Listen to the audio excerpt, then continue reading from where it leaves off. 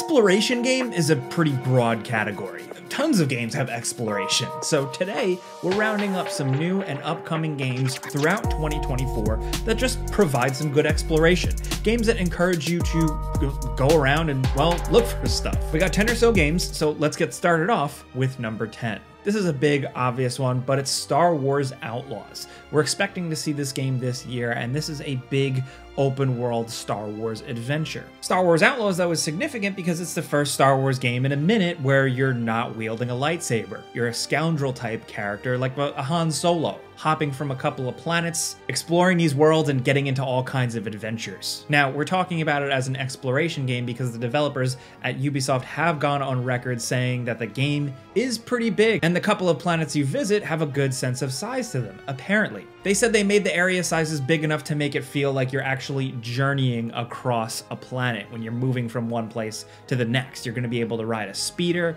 hop off wherever you want, go wherever you want, and we're really excited to see what comes from that because Star Wars Jedi Fallen Order had some good exploration, but that was built around the structure of that Metroidvania style. This seems like it's going to be a much more open-ended exploration thing, and we're excited to see what comes of it. There's a lot of potential here, especially because Star Wars games have been pretty good recently. So fingers crossed, Star Wars Outlaws has some really good exploration when it seemingly drops towards the end of 2024.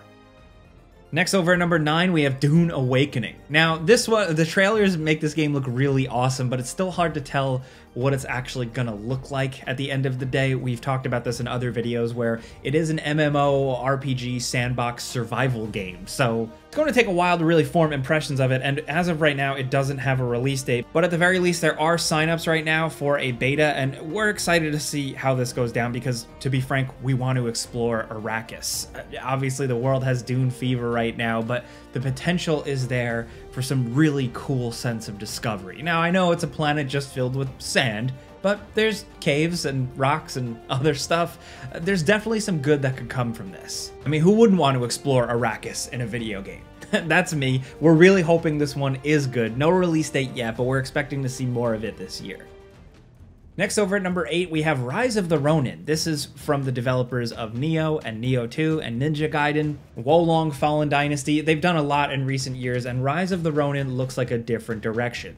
There's more story and a, seemingly a lot more exploration. You're traveling around a historical period of Japan that is very distinct. We don't see it in a lot of games, and we've already seen a lot of traversal with like glider mechanics, grappling hook, uh, wilderness, towns, cities. It seems like there's going to be a lot of exploring and a lot of journeying around here. On foot, on horseback. Uh, we're excited to see what comes of this, and thankfully, it's releasing pretty soon at the end of March.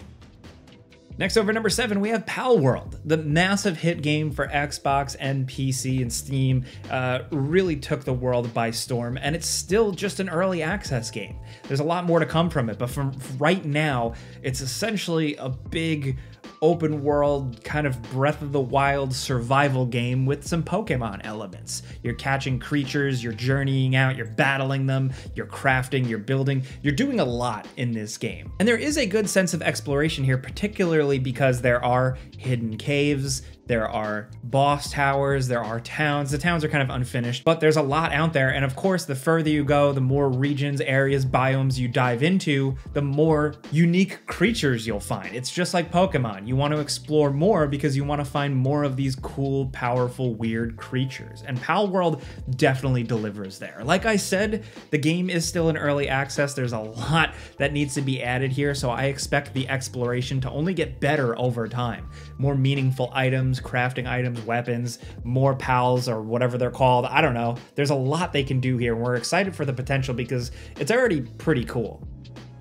Next over at number six, we have Flintlock, The Siege of Dawn. This is a big open action RPG adventure with some pretty cool combat. Uh, with trailers that we've seen, you're fighting with flintlock pistols, and axe, some magical abilities. There's definitely a lot that can go down here, but also this game is being billed as having a large open battlefield, just a world you explore and adventure through. And sometimes we just like a good old fashioned action adventure RPG. We get them all the time, but like in terms of high profile ones, as of right now, we only see a couple for 2024. And we haven't talked about this one too much in other videos, so we figured we'd give it a Dimension. We don't know if it's going to be good, but we're going to see it this year and we're going to judge for ourselves.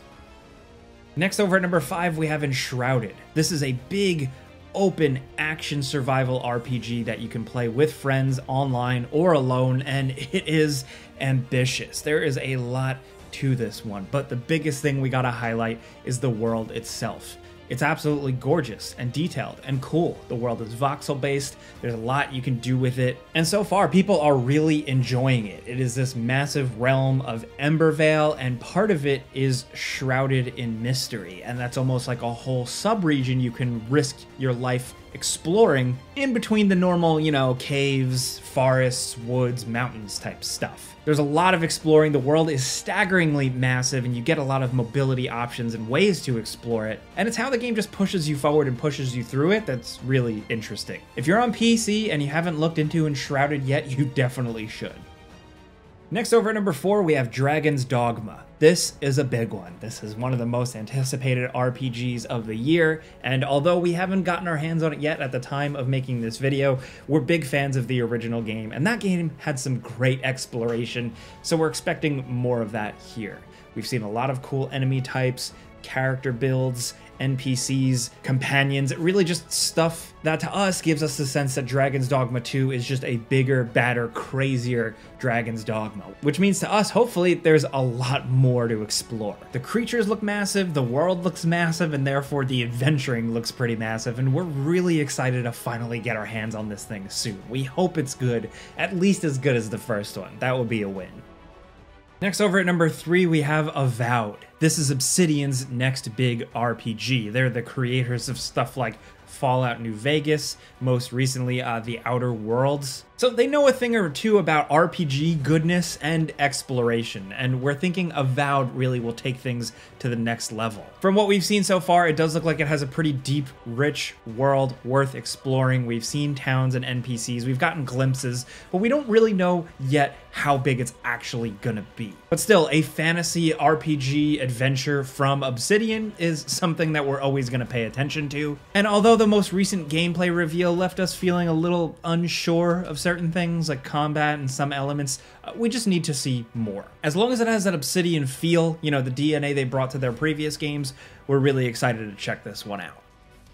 Next over at number two, we have Pacific Drive, a driving sci-fi exploration game that is not open world, but still really manages to create a good sense of exploration. It's got a little bit of survival elements to it because you're hunting for crafting components to essentially upgrade your jalopy car with Back to the Future style parts you bolt onto the car just to survive and get through these harsh environments, kind of like a post apocalyptic thing.